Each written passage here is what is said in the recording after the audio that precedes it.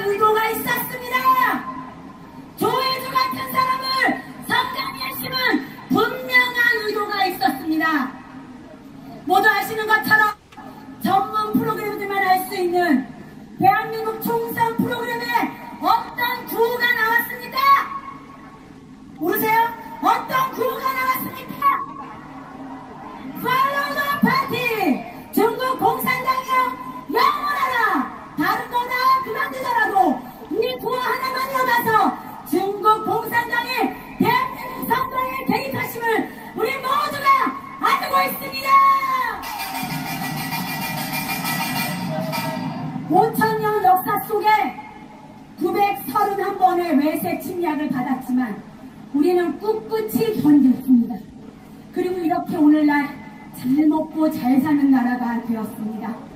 5천년 역사 속에 중국의 속국이 되어 조국 바치고 특성을 바치고 여자 바치고 그렇게 살다가 조금 정신을 차렸는데 어라 이번엔 일본 놈들이 쳐들어와서 또 35년간의 일제강점기를 지내고 말았습니다. 그리고 나서 정신을 차리려고 하니 이번엔 누가 쳐들어왔습니까? 공산당들이 쳐들어왔습니다. 우리 조상들이 피 흘려서 중국의 속국에서 벗어났고 일제 강점기에서 벗어났고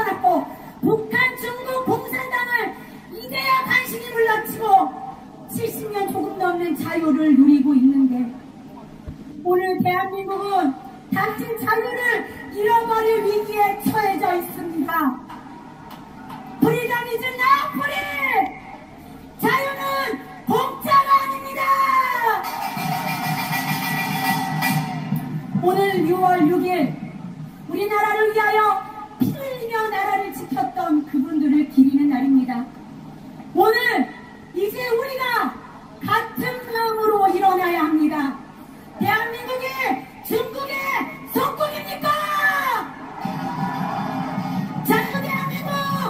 진핑하자!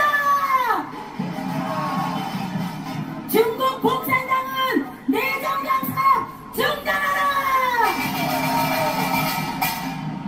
우리 아이들이 살아갈 이 땅 대한민국! 우리 아이들에게 자유민주주의로 물려줍시다!